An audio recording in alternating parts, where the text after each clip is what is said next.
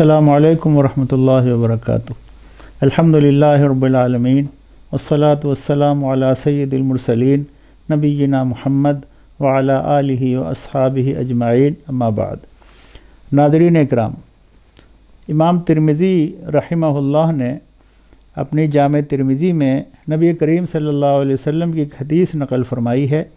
حدیث کا نمبر ہے انیس سو ستاسی۔ فرمایا، اتق اللہ حیث ما کنتا اتق اللہ حیث ما کنتا تم جہاں اور جس جگہ بھی ہو، اللہ تعالیٰ سے ڈرو۔ یہ نبی کریم صلی اللہ علیہ وسلم کی نہایت مختصر حدیث ہے، لیکن اپنے معنی اور مفہوم کے اعتبار سے بہت اہم ہے اور بہت وسیع ہے۔ جہاں کہیں بھی آدمی رہے، وہ اللہ رب العالمین سے ڈرتا رہے۔ اللہ کا تقوی اختیار کرے اور اس بات کو اپنے ذہن میں پختگی کے ساتھ رکھے کہ اللہ تعالیٰ دیکھ رہا ہے، اللہ تعالیٰ سن رہا ہے اور اللہ رب العالمین کے علم سے میرا کوئی بھی زندگی کا گوشہ پوشیدہ نہیں ہے۔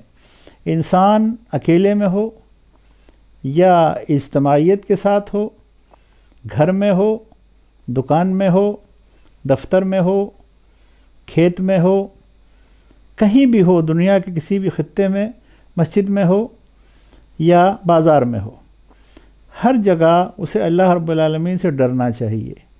اللہ رب العالمین سے ڈرنے کا معنی یہ ہے کہ ہر مقام پر آدمی کو برائیوں سے بچ کر زندگی گزارنی چاہیے۔ بری باتوں سے دور رہ کر زندگی گزارنی چاہیے۔ اور یہ کوشش کرنی چاہیے کہ میں گناہوں سے بچوں۔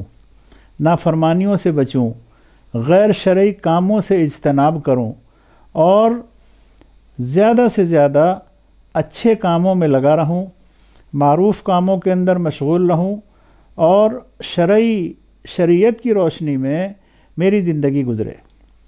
شرعی احکام کی وجہ آوری میں زندگی گزرے۔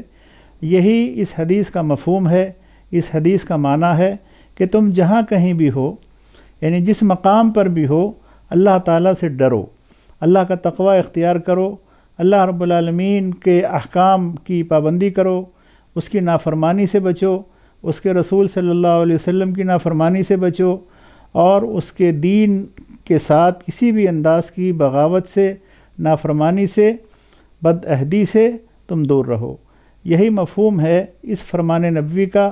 اگر ہم اس حدیث کو اپنی زندگی کا اوڑھنا اور بچھونا بنانے کی کوشش کریں تو یقیناً ہمارے اندر سے بے شمار برائیاں دور ہوں گی۔ ہم برائیوں سے بچیں گے اور اچھائی کے راستے پر چلیں گے، اچھائی پر عمل کریں گے، اچھے انسان بنیں گے، اچھے مسلمان بنیں گے اور ہر طرح کی برائی سے ہم بچنے کی پوری کوشش کریں گے۔ اللہ رب العالمین سے ہم دعا کریں کہ اللہ تعالی ہمارے اندر یہ صفت پیدا فرما دے کہ ہم جہاں بھی رہیں، اللہ تعالیٰ کا تقوی اختیار کریں، اللہ تعالیٰ سے ڈرتے رہیں اور اللہ کا خوف ہمارے دلوں میں ہو، اس دنیا کے اندر بھی اور اور کل قیامت کے دن بھی ہم اللہ تعالیٰ کے سامنے کھڑے ہونے سے ڈرتے رہیں تاکہ ہم کامیاب ہو سکیں دنیا میں بھی اور آخرت میں بھی۔ آج ہم دیکھیں کہ آج ہم خلوت میں اور اجتماعیت میں کہیں بھی جہاں ہوتے ہیں، بہت سی برائیوں کے اندر ملوث ہو جاتے ہیں۔ آج کے دور میں موبائل کے ذریعے جو برائیاں ہم تک پہنچ رہی ہیں، انسان اکیلے میں بیٹھ کر ان برائیوں میں مشغول ہو جاتا ہے۔ نبی کریم صلی اللہ علیہ وسلم کے اس فرمان کو اپنے سامنے رکھیں کہ اتق اللہ ہے سما کنتا تم جہاں بھی ہو، اللہ تعالیٰ سے ڈرو۔ تو اکیلے میں بھی اللہ سے ڈریں اور اجتماعیت میں بھی اللہ سے ڈریں یعنی لوگوں کے سامنے ہوں تب بھی اللہ سے ڈریں۔ گھر میں بھی، دکان پر بھی، بازار میں بھی، کھیت کھلیان میں بھی، اور کسی بھی مقام پر ہوں، اللہ رب العالمین سے ڈرتے رہیں۔ اللہ تعالیٰ ہم سب کو